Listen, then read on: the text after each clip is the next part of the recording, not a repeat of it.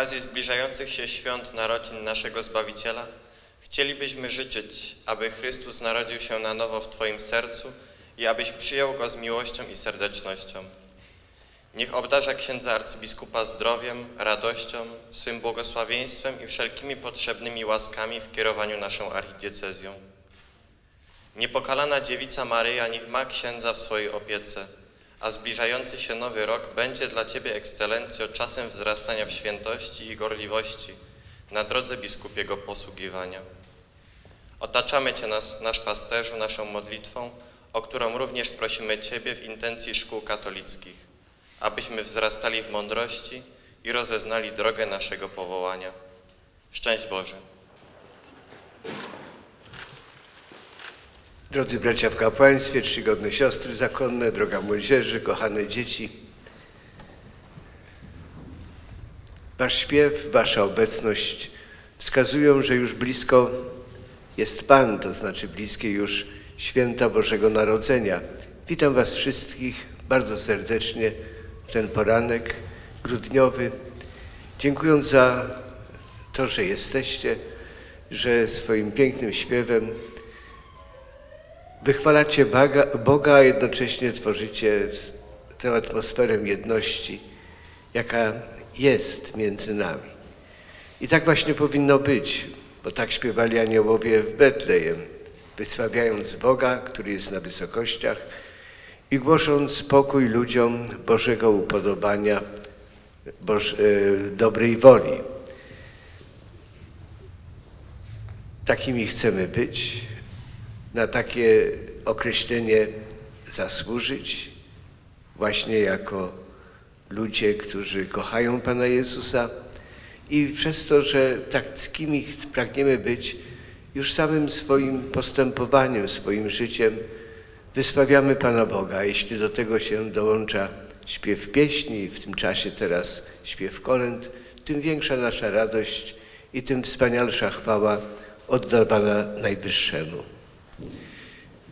Wielokrotnie święty Jan Paweł II, począwszy od pierwszej mszy świętej swego pontyfikatu, wskazywał na to, że Pan Jezus, Jezus Chrystus jest kluczem do zrozumienia człowieka. Nie zrozumiemy siebie, jeżeli nie spojrzymy na siebie w świetle tego, co pokazał sobą, swoim życiem, swoim nauczaniem Pan Jezus. I stąd moje życzenia, byśmy wpatrywali się w Dzieciątko Jezus, byśmy z tego skarbca, którym jest obecny pośród nas, Zbawiciel świata, czerpali jak najwięcej wspaniałych inspiracji i natchnień. Sam Pan Jezus powiedział, jeśli nie będziecie jako dzieci, nie wejdziecie do Królestwa Niebieskiego, stąd taki ważny nasz obowiązek, abyśmy stawali się jako dzieci, upodabniając się w tym, co Pan Jezus nam e, swoim życiem, także w tym okresie dzieciństwa pokazał. I to życzenie odnosi się zarówno do samych dzieci, które są dziećmi, jak i do dorosłych, którzy ciągle na nowo muszą uczyć się prostoty spojrzenia na Boga i drugiego człowieka. Prostoty to znaczy miłości, wielkiej życzliwości, łagodności i dobroci. I takich właśnie Wam wszystkim, moi drodzy, takich właśnie życzę świąt, by były pewne pokoju, radości, takiej prawdziwie dziecięcej prostoty.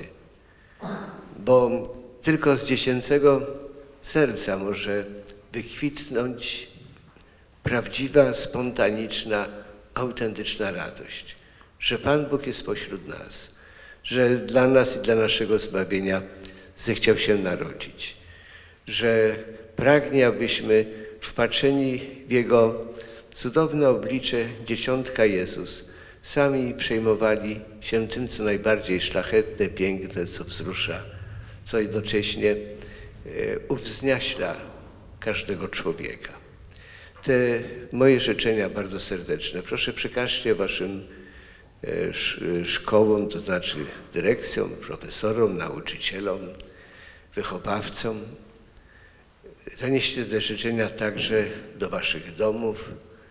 Niech ten czas już przedświąteczny, jeszcze adwentowy, a potem już od poniedziałku wchodzenie poprzez Wigilię święta Bożego Narodzenia, niech ten czas będzie dla was cudowny, tak jak każde Boże Narodzenie.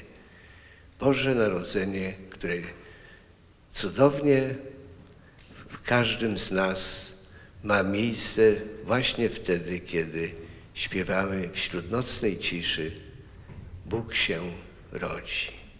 Szczęść Wam Boże.